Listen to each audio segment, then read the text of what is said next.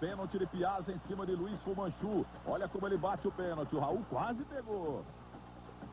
E agora o Cruzeiro empata, Nelinho faz lançamento, a zaga do Santa Cruz para e Zé Carlos aproveita, era um craque esse Zé Carlos. Palinha acionado, ganha na velocidade do zagueiro. Olha aí o Palinha e faz mais um gol para o Cruzeiro de virada 2 a 1 um. Agora você vai ver um pênalti, está aí o Palinho, um pênalti em cima do Pio, ex-Palmeiras, hein? Novamente Luiz Fumanchu vai converter. Olha o pênalti, tá vendo? Olha o Fumanchu, hoje é comentarista esportivo de rádio no Espírito Santo, Luiz Fumanchu. A vitória do Cruzeiro, 46 do segundo tempo. Lançamento para o Palinha. O goleiro é o Jair, ex-grêmio. Olha o gol do Palinha. O Palinha estava jogando muito na época.